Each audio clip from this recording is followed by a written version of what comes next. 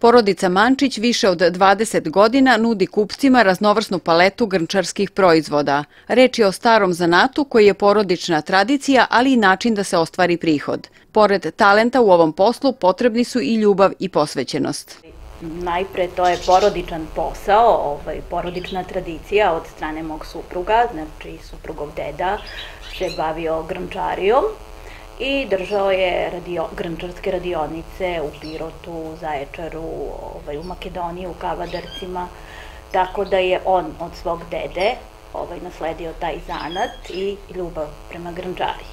A ja iz ljubavi prema suprugu zavolela sam naravno i grnčariju. E, grnčarija je veoma zanimljiv posao, u stvari jedan umetnički zanat i mora da se posjeduje jedna umetnička crta i kreativne sposobnosti. Znači, grnčarija pruža raznovrsne mogućnosti, tako da je veoma lepo baviti se grnčarijom i zanimljivo.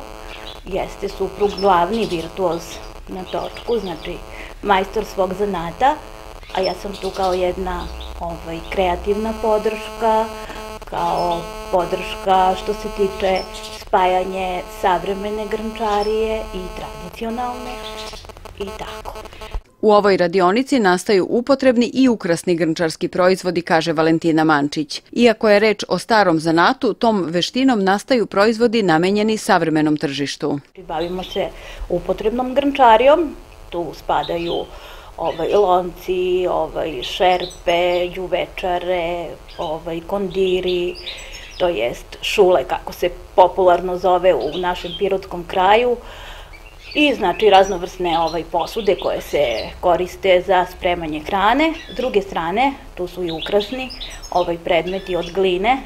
Radimo razne e, saksice, cipelice koje lijemo iz kalupa i na njima naravno se ili oslikava ili se koristi dekupaž tehnika, sve zavisi od potrebe kupca, tržišta.